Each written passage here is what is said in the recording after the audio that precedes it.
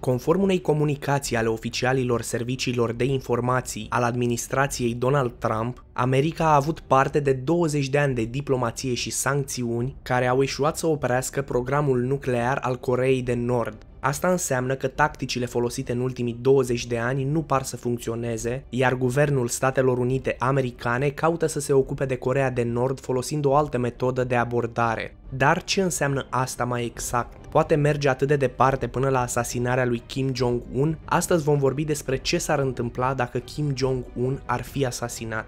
Înainte de războiul rece, asasinarea unui lider național a fost o componentă serioasă a securității naționale americane. Însă în ziua de astăzi este dezaprobată această idee mulțumită președintelui Ford, care a dat naștere următorului ordin executiv. Niciun angajat al Guvernului Statelor Unite nu ar trebui să se implice sau să conspire în asasinările politice. Apoi, președintele Ronald Reagan a repetat această restricție prin ordinul executiv 12333. Deci, asasinarea lui Kim Jong-un nu este ceva ce se va întâmpla prea ușor, cel puțin nu de către guvernul SUA. Dar dacă o să rămânem fără alte opțiuni, va rezolva asasinarea liderului corean problemele lumii? Este normal să ne gândim că dacă scăpăm de Kim Jong-un, una din principalele surse de tensiune ale lumii, Corea de Nord va deveni o țară democratică și stabilă, dar de fapt asta nu se va întâmpla. Cel mai probabil războiul va continua chiar și fără el. Corea de Nord este un stat care deține arme nucleare cu rachete gata pregătite să elimine orașul Seul. Asta include distrugerea bazelor militare americane din acest oraș. Kim Jong-un a omorât și a luat prizonier pe oricine a reprezentat cea mai mică amenințare pentru țara sa. Acesta și-a omorât până și propriul unghi și fratele Vitreg datorită amenințării pe care aceștia o purtau.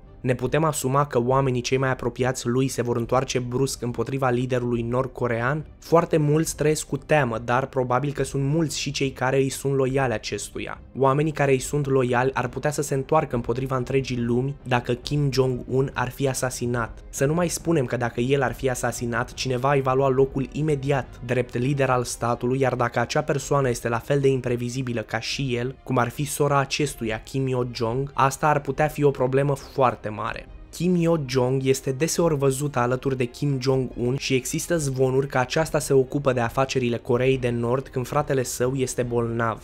Ea deja reprezintă o influență foarte puternică, aproape la fel ca un șef al personalului american, un titlu purtat de liderii unor organizații complexe, instituții ale statului sau unui corp de persoane în SUA. Kim Yo-jong cel mai probabil ar căuta răzbunarea fratelui său dacă acesta ar fi asasinat. Nu se cunosc foarte multe despre aceasta, dar asasinarea liderului unui stat este un act de război și probabil răspunsul Coreei de Nord ar fi pe măsură, în special dacă persoana succesoare titlului de lider este cineva care își dorește răzbunare. În orice caz, Corea de Nord este o națiune care depinde complet de cultul personalității. Imediat ce asasinarea liderului suprem al Coreei de Nord ar fi posibilă, acesta nu ar mai fi suprem deloc. Deodată acesta ar deveni vulnerabil, iar asta ar îndepărta iluzia că liderul suprem este invincibil. Deci, dacă cineva decent și cu capul pe umeri ar avea succes în asasinarea lui, Kim Jong-un și-a asasinat câțiva dintre membrii propriei familii care au îndrăznit să-l sfideze, iar asta înseamnă că există speranța ca oamenii apropiați lui să se reformeze, deci poate că lucrurile se vor schimba.